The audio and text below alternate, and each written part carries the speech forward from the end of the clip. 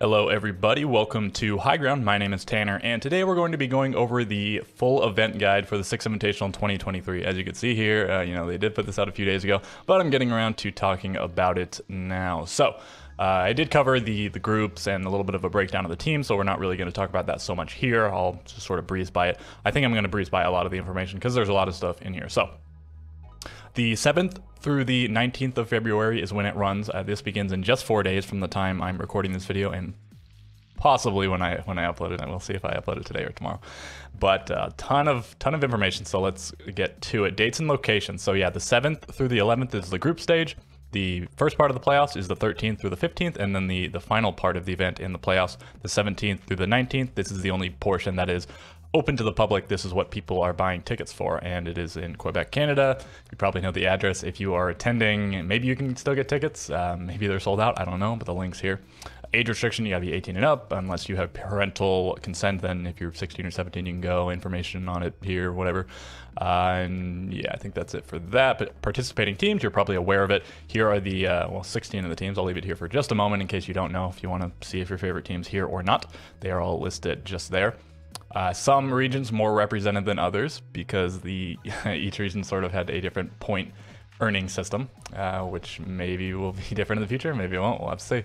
Uh, and then finally, one team from each region made it to the event via a uh, last chance qualifier, which some teams were auto invited to, and some teams went through a preliminary qualifier to qualify for the real qualifier. Okay, and then they uh, they gave them some some seeds, and then I guess that seeded them into the groups. But I think the the only really important thing you need to know is that they didn't put a bunch of teams from the same region in each group. So each group has no more than one APAC or LATAM team, only four LATAM teams and three APAC teams at the event. So you know, not greater than the number of groups, and then seven EU teams and six NA teams at the event. So two groups have two NA teams, two groups have one NA team, and three groups have two EU teams, and the other group has one EU team. So, uh, you know, no no tripling of, of NA or EU teams, so only singles or doubles for them. And then we'll proceed further on because this is stuff I've sort of already talked about. We have the schedule, and I'll just hover over this for a minute. Feel free to take a look, pause it here if you would like.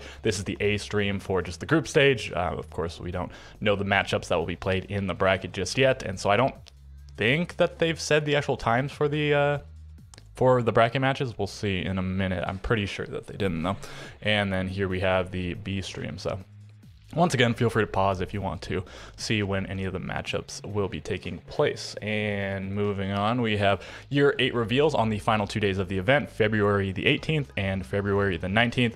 Uh, the first of the two days, it's the uh, season one for year eight reveal, and then they'll go more in depth, I guess, on on that information on the 19th. And uh, I'm assuming they're going to drop the, like the full patch notes like they usually do on usually on the same day, like right after the reveal, whenever. Uh, activities at the event. So, I mean, this is whatever. You probably are aware of a lot of the stuff. If you are going, I'm sure you took a good look. And if you're not going, you probably don't care. So, uh, you know, you can get some on site apparel, some on site accessories, more online apparel. You can also not go to the event and get some apparel. Dev team meet and greet, photo booths, demo booths, Q&A session, professional teams meet and greet, cosplay, all stuff that you may want to know about, but I'm not going to talk about where to watch. So a bunch of different places to watch on Twitch and YouTube. We have English, Portuguese, German, Spanish, Japanese, French, Italian, and Korean in uh, various locations covering varying amounts. I guess uh, Korean is the only one. Won't be stream okay whatever whatever this says i'm not gonna i'm not gonna put too much effort into it. Yeah broadcast talent so it's pretty standard you know it's a good lineup but i don't think there's anything that anybody didn't expect.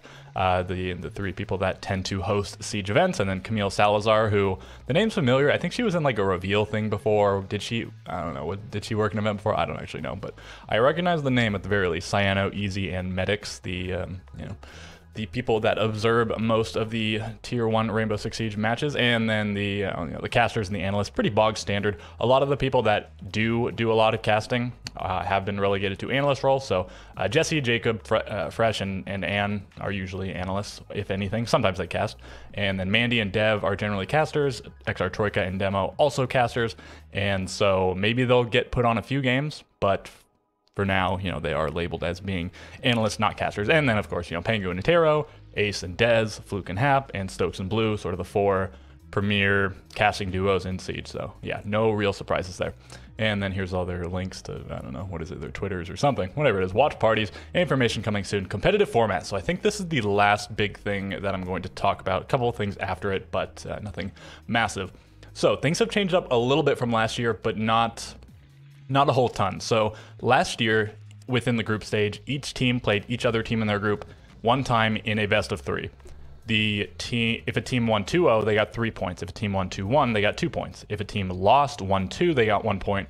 And if a team lost 0-2, they got no points. And as you see here, they changed it a little bit. So same things for the losses, still one point for a 1-2 loss, no points for an 0-2 loss. But they've put an additional point on these two score lines. So if you win 2-0, four points. And if you win 2-1, uh, you know, three points. So there's four points total that that the two teams can split in in one or two ways in each matchup. So I guess a perfect group stage for any given team would be 16 points, and this rewards you more so for now winning the series. Before, uh, you know, one point for a one-two loss versus two points for a two-one loss. Uh, it did feel a bit lopsided. I mean, yeah, that the points were equal to the number of maps that you won, but it sort of defeats the purpose of excuse me, sort of defeats the purpose of playing a best of three a little bit. Um, if you won 2-0, you know, you were getting three points for only winning two maps, but uh, you know, still the split was a little bit strange. Now it does feel like you were really being rewarded for winning the best of three and not just like you're playing several best of ones put together, if if that makes any sense to you guys. Anyways, the top four teams in each group at the end of the group stage will advance to the playoffs. So each group uh, only one team will be eliminated. And then I'm pretty sure this is identical to last year. The top team in each group goes to the upper bracket and they get a bye. So they go to the second round. Um, they have to play one fewer round in the upper bracket. And then the teams that rank second in each group will go to the first round as well as the third place teams. And then I think what this says is the second place teams get to pick from the third place teams in an order determined by how well they did. So I believe this is identical to last year, just how the how many points and how they're assigned is a little bit different. So keeping that, and then the winners of each match will advance, and there's a lower bracket, whatever, whatever. Uh, I guess I didn't mention, yeah, the, the fourth place team in each group will go straight to the lower bracket. So you definitely want to get top three in your group to, uh, you know, maintain that extra life that you have at the event. And then the bracket looks like this. So, uh, you know, they'll play through all best of threes up until the best of five grand final, no map advantage, right? I think that's no map advantage. So Probably they'll get some sort of pick advantage, the team coming from the upper bracket, but again, you know, no actual map advantage in the grand final, which is pretty exciting to see uh, from a viewer perspective. A little bit of a debate as far as the competitive aspect goes, but yeah, it is what it is. Pro team bundles and weapons can sale 40% off. Uh, that's a pretty big discount if you actually care about such things. So get them while you can if you'd like. And then Twitch drops, uh, you have to, I don't know, get information later, I guess. If you want to know about that, safety measures, uh, more stuff that only applies to people at the venue, privacy and image rights. Uh, you know, they'll take your pictures or something. I don't know. Stay in touch. So yeah, that does it for the event guide. That does it for me. If you have any questions, comments, concerns, corrections, suggestions, feel free to leave them below. Uh, time's running a bit low, so maybe I'll do like one or two more of the shorts. I, I think I'm probably just going to aim for one more, just have an even six, and I'll call it good. And then uh, maybe a little bit of a little bit of coverage as the event progresses. But all right, that's going to do it for me. So leave a like, leave a subscription, and I'll catch you guys in the next video.